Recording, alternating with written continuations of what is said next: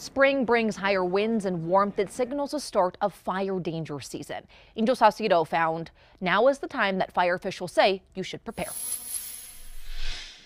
May and June, these are the months which uh, ignitions are most likely to happen. Fire season is here, and fire officials are asking New Mexicans to protect their homes. Preparing the immediate area around your home, getting it clear of dry vegetation, checking your gutters, looking around and seeing if there's anything that's flammable. They're also warning about the danger in our wildlife areas. Just last year, the Calf Canyon Hermit's Peak fire burned more than 300,000 acres of land. In Mora and in San Miguel and in Las Vegas, it is the effects of last year's fire are still very real. We've already had over 200 wildfires that really kind of haven't even made the news. Much of that fire danger coming in areas like this one. Right where we're standing, there was a wildfire burning just about a year ago. That fire burned around 30 acres, and you can still see some of the damage it did.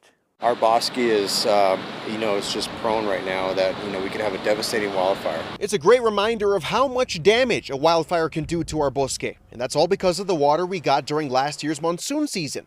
That water created a lot of growth that eventually dries out and turns the bosque into a tinderbox. The cottonwood trees are, you know, greening up and but we have a lot of dead underbrush that would be the fire carrier that could, you know, lead to a devastating fire. In the Bosque, Angel Salcido, KOAT, Action 7 News. Angel, thank you. Ducker also says if you live in heavily wooded areas, having a go bag of important items like clothes, documents, and medications is important to have in case you do have to evacuate.